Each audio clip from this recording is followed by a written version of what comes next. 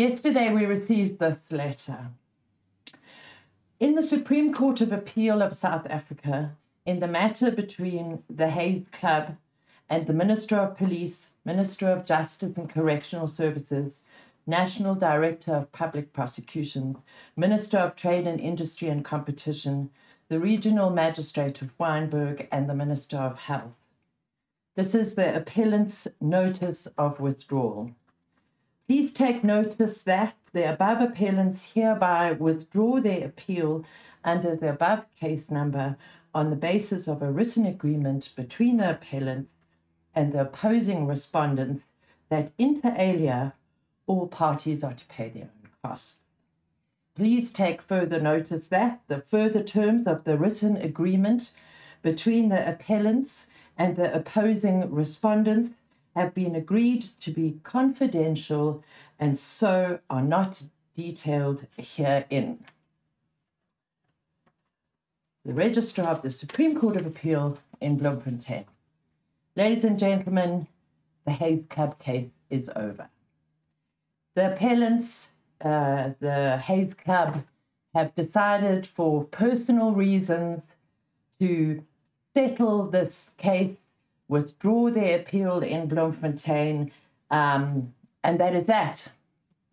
And I'm really pleased to have uh, our attorney for our amicus curiae appointment in the Supreme Court of Appeal, uh, Stefan Bezuidenhout.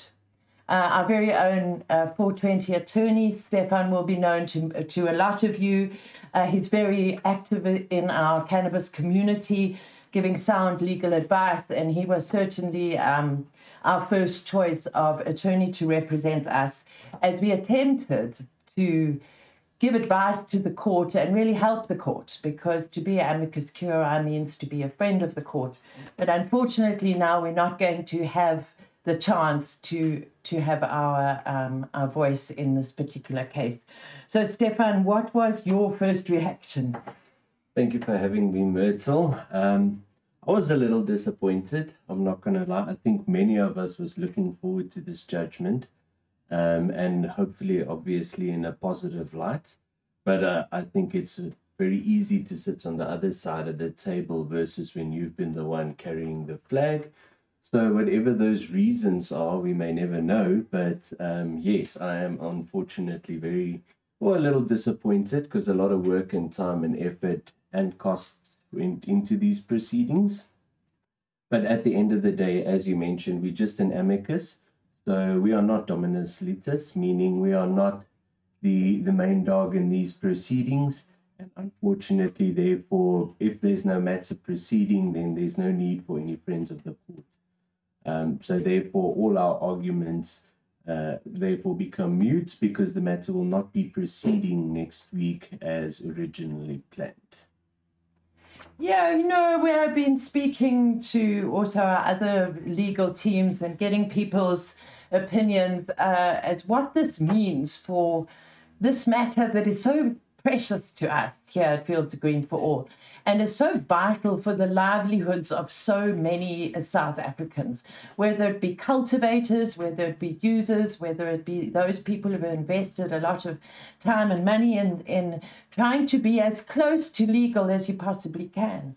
You know, um, we have never said that Dagga private clubs are legal. Dagga private clubs are not legal because Otherwise, we wouldn't have had to intervene in, in this case and offer our services as amicus because there's this dreadful grey area.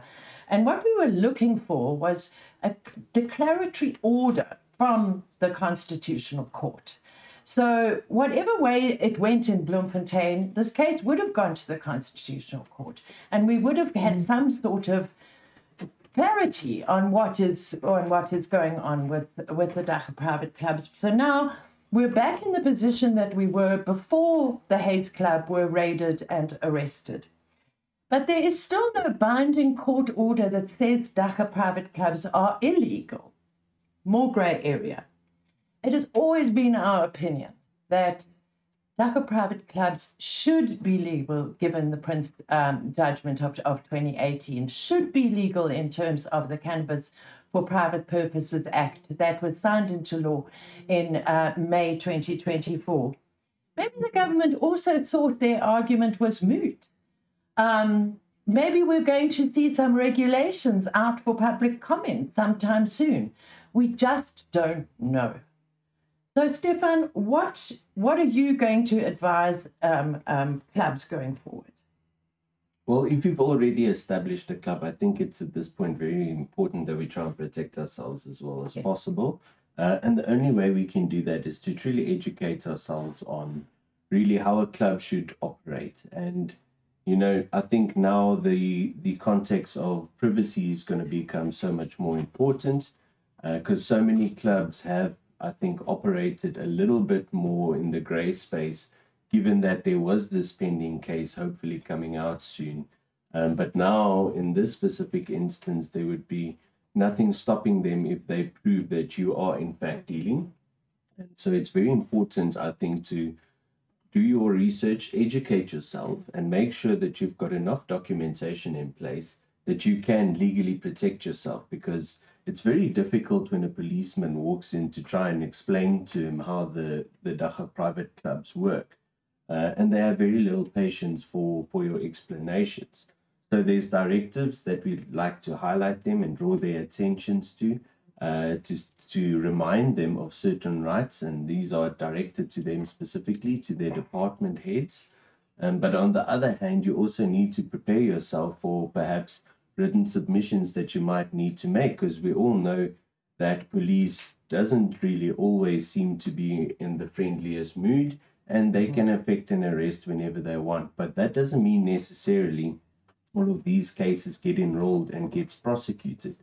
So i think therefore it's very important to seek legal advice so that you've got some documentation to present as well to the prosecutor as well to so that in the event even of an arrest to try and prevent that you're being prosecuted and criminally um, you know held liable well isn't that just the case and certainly for the last 15 years the one thing that has always been at the top of our agenda is to just stop the cops but right now uh, I think we're all just a, a little bit in shock. We are busy processing this.